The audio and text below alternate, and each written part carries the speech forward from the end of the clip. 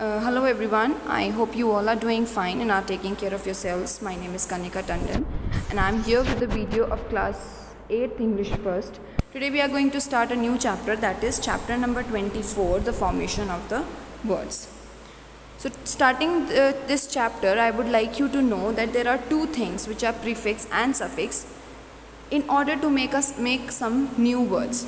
So if we start from prefixes, with the word prefix, I hope that it is clear to you all that we are using uh, this word before some other word. Alright, we are putting this word before some word. Alright, so prefixes are those words which are added before one uh, word in order to make a new word. For example, co. Alright, CO CO plus incident is equals to coincidence.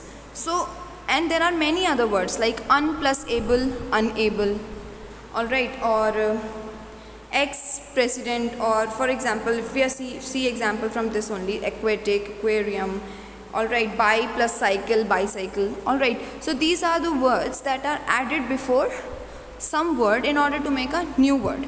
One thing that you would uh, you should know is that all these prefixes have some different meanings of their own.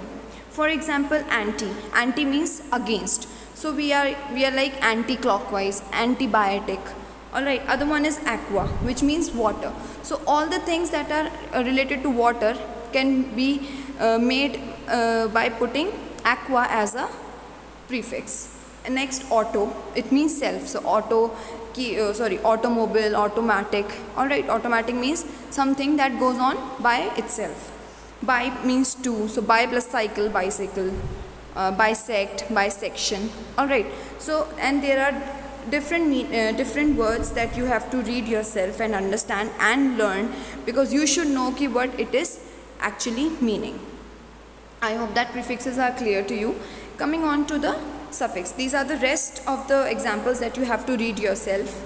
These are multi means many, which means multicolor, multimedia, non, not, non-violence, non-stop, Alright, so all of these words, all of these prefixes are very common. We are very, we very commonly use these words because these are the words that we use and we actually don't know, most of us don't know that they are actually made it, uh, they, these are actually made by adding some other words to the already existing words. Alright, so these are the examples that you can read. Coming on to the suffix. Now, since we have already uh, read about prefix, so it is very understood that suffix means something that we are adding after some word. Alright, there is one more trick that you can write. Prefix starts from pre. Alright, pre starts from alphabet P, which means per. And per means pehle. So this is the uh, what? This is the kind of home remedy that you can use for yourself. Alright, this is the way I learned it. So pre means pehle and pehle, uh, pre means pehle and pehle means to put the word before some other word.